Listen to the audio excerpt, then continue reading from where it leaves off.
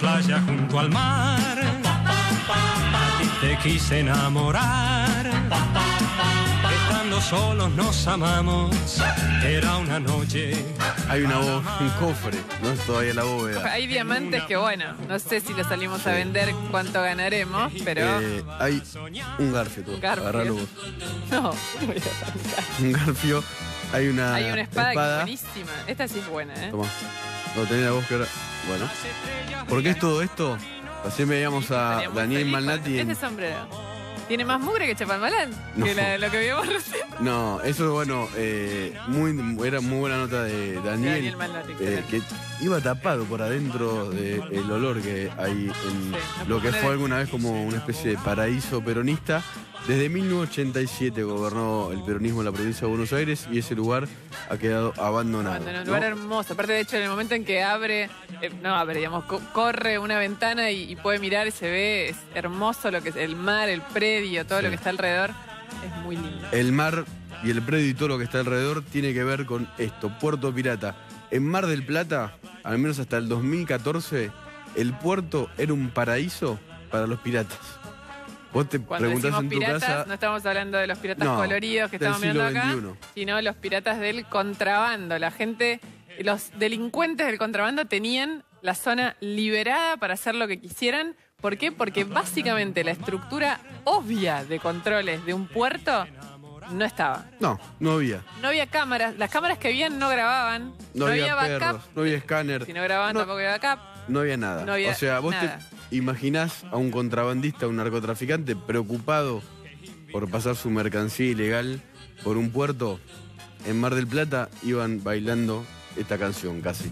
Vamos a hablar con el denunciante del caso que tiene más detalles. Es eh, Maximiliano Abad. ¿Qué tal, diputado? ¿Cómo va? ¿Qué tal? Muy buenas noches, Luciana Nicolás. Bueno, gracias por venir. No, como un gusto charlar con ustedes. De la provincia de Buenos Aires, eh, legislador provincial del radicalismo. Hiciste la, eh, la denuncia sobre esto. Sí, una vez que tomé conocimiento de un informe de la Auditoría General de la Nación, de dos informes, mejor dicho, uno el año 2012-2013, en el cual ya anticipaba que no había ningún control en la aduana del puerto de, Mar del Plata, eh, y en el año 2014 el mismo, o sea, es un nuevo informe y se ratifica lo mismo que en el año 2012 y 2013. Lo cual no, no cambió nada, a pesar de que la auditoría hizo recomendaciones diciendo cuáles la- las fallas en los controles y lo que tenían que, que hacer. A ver, es uno de los puertos obviamente más importantes del país. Pasaba de todo. Eh, en tu denuncia vos hablás de severas negligencias y de algo interesante. Obviamente de posibles vinculación con el narcotráfico. Eh, decís, la aduana eh, de Mar del Plata con el kirchnerismo no dejó delito sin cometer.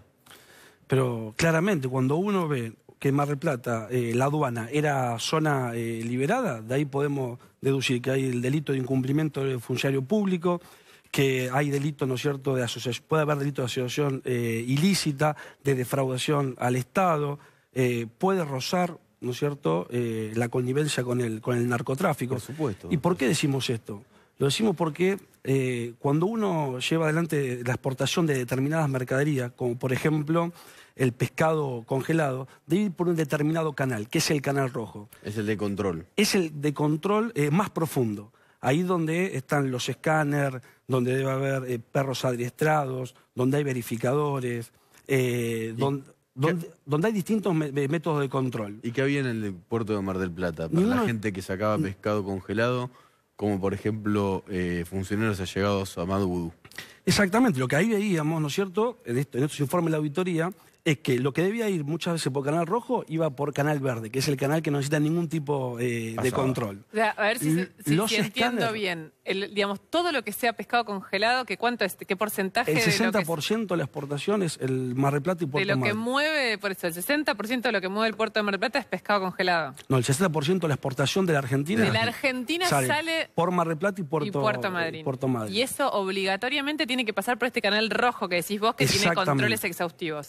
Exactamente. Y eso no pasó. Está confirmado que no pasó. Es- según los informes de la auditoría. Sí. ¿Había perros? Eh, De cinco perros había dos o uno. ¿Había Eh, cámaras? lo- mu- no, lo- la- las cámaras no, no tenían eh, monitores en la aduana, sino que los monitores estaban tercerizados. Por lo tanto, las autoridades de aduana tenían que ir a pedirle a una empresa tercerizada que le deje ver lo que pasaba, ¿no es cierto?, en esos depósitos eh, Pero quedaba o en grabado. la zona primaria. Quedaba grabado, porque creo que, No, lo el que ba- en la eh, denuncia decías que no hay backup, o sea que tenía que ir hasta allá para ver en vivo, pero si pedías el backup grabado no estaba. Porque vos tenés que tener, ¿no es cierto?, escáner. Eh, Durante mucho tiempo no había escáner. Cuando había escáner, ¿no es cierto?, esa información Durante mucho tiempo no había escáner de droga. directamente. O sea, no se escaneaba. no se nada. escaneaban los contenedores que salían.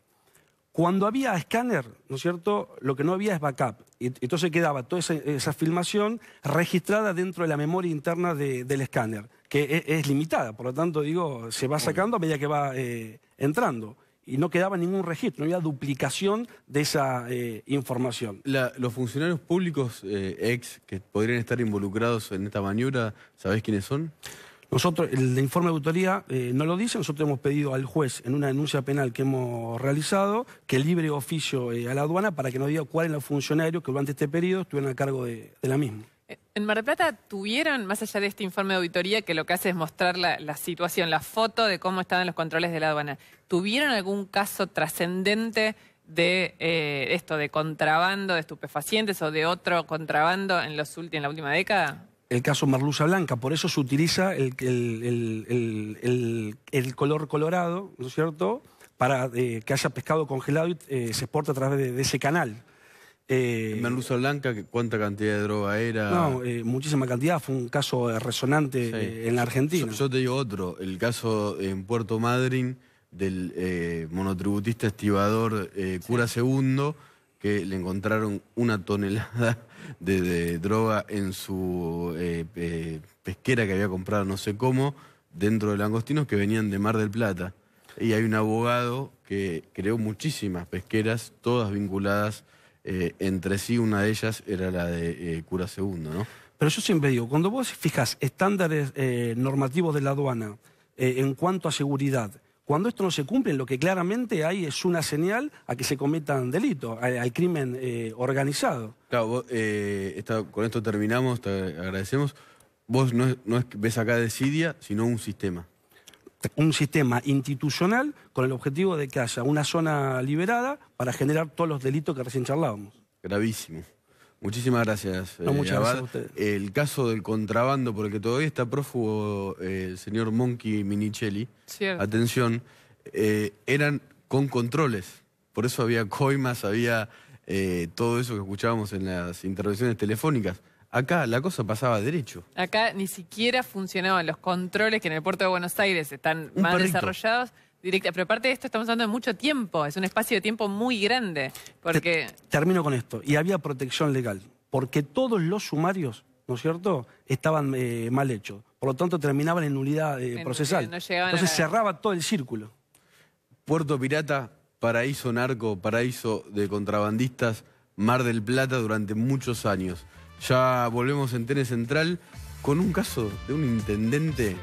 Yo no sé si hay abogados viendo, no, no sé cuántos artículos hay en el Código Penal que tengan que ver con la función todo pública. lo que un funcionario público puede violar en su cargo en el Código Penal, Este señor lo hizo. todo. ¿Quién es? Ya lo vas a ver.